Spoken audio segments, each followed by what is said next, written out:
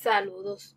En este videotutorial aprenderemos cómo crear tablas utilizando el editor de TinyMCE HTML. El primer paso es seleccionar el espacio donde estará trabajando. Luego, debe de seleccionar el icono de la tabla. Seleccione cuántas columnas y filas usted necesitará. Y en la sección de ancho escriba 600. Y seleccione insertar. Y aquí podemos observar que tenemos ya la estructura de una tabla. Ahora procedemos a insertar el texto y la imagen a utilizar. Una vez insertado el texto y la imagen, podemos observar que tenemos filas que no utilizamos. Estas las podemos eliminar. Para eliminar las filas, usted debe de sombrear las filas y con el botón derecho de su mouse presiona y le va a aparecer este menú el cual va a seleccionar fila y selecciona suprimir y eliminamos las mismas. De esa misma manera yo puedo ir a fila e insertar filas o insertar columnas, todo va a depender de lo que necesitemos en el momento. También eh, podemos centralizar nuestro título y para esto, si se fijan aquí, yo tengo dos celdas está mi título dividido en esas dos columnas que yo creé anteriormente.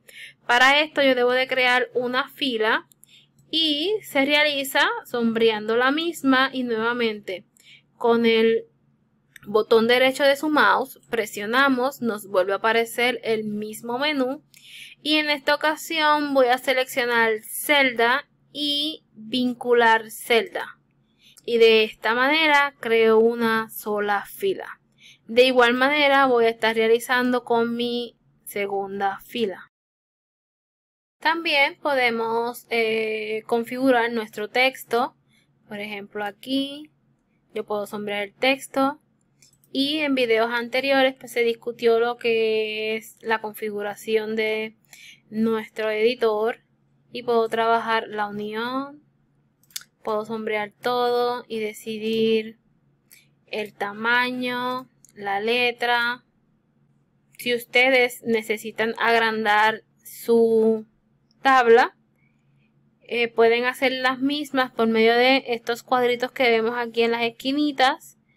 Un clic y voy arrastrando hacia el lado. Aquí la palabra objetivo le vamos a dar un bow. A finalizar también podemos hacer lo mismo. Y ya tenemos prácticamente nuestra tabla configurada.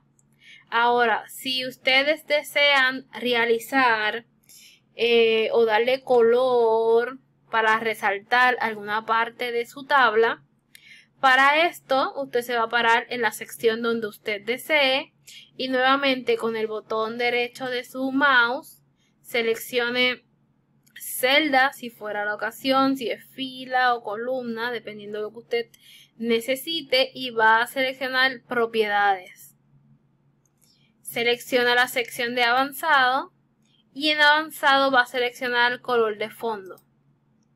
En color de fondo le va a aparecer esta paleta de colores en la cual ustedes van a elegir su color o puede escribir el código en HTML si lo conoce. Luego seleccione aplicar y seleccionamos actualizar y aquí tenemos el color en nuestra tabla. La palabra objetivo en negro pues no se ve muy bien con el color azul de fondo. Así que podemos cambiar el color aquí a blanco. Y una vez lo tenemos, le decimos guardar cambio.